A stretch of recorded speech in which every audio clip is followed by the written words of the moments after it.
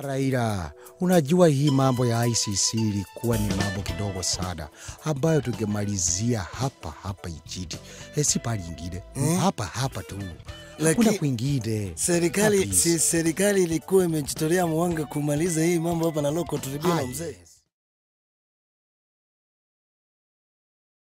The XYZ show is an African political satire that you know has been around for a while.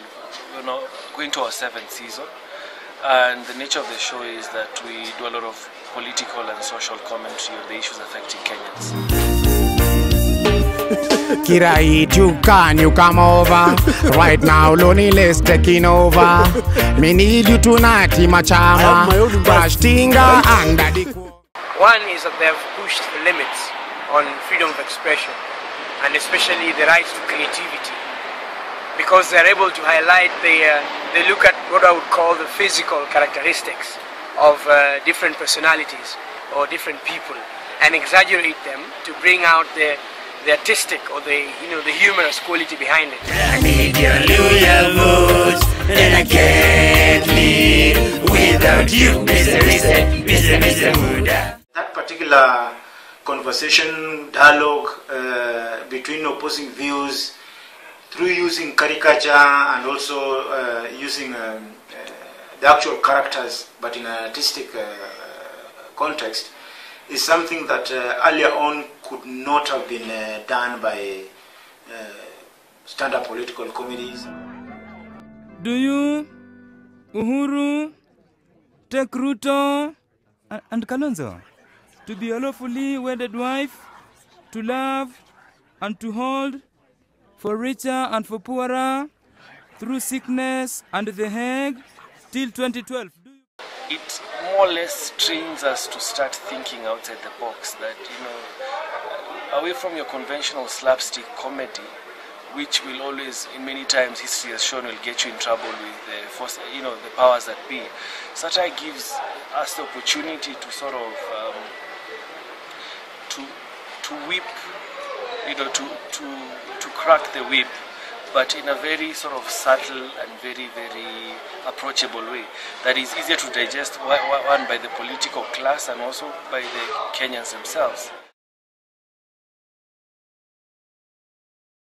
Like it because you know it's a political satirical show that you know that brings out so many characters in the whole of Kenya and you know uh, the entire Africa. museveni Kaguta yoweri ayi museveni Kaguta yoweri do solemnly swear by this gun. Do solemnly swear by this gun.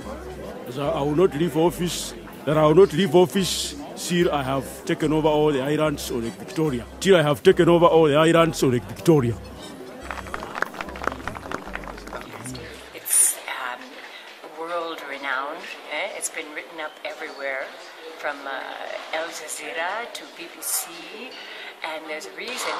It's because it has it really touched the chord of people's conscience, conscience in Kenya, and it's in Swahili, and it's in Sheng, and it's in music, and it's so grassrootsy that ordinary Kenyans watch it and we all laugh and we laugh at our politicians. And it's so important because laughter cuts through the, the veil of uh, mystification that the politicians put up. I've been uh, approached, um, um, you know, by some organization in Senegal, and um, we have been in discussions. They invited us there, uh, you know, but uh, nothing has materialized yet. So we hope that everything will go well. We we have managed actually to. There is a similar show in, in Tanzania now, which you know we we have done the puppets for them. Uh, they do short clips, five five minutes, five minutes, and uh, they, they they've just uh, done their first season. I think they're about to end their first season. So that has been a you know success. Mliko tayari mbaya. Uh-huh. I tell you, Hey. nakwambia ni stable chess. Leta tuunganishe hili tu. Come on, here we go. Mpaka Olympics. Tell me what do you see when you're looking at me? On a mission to be what I'm destined to be.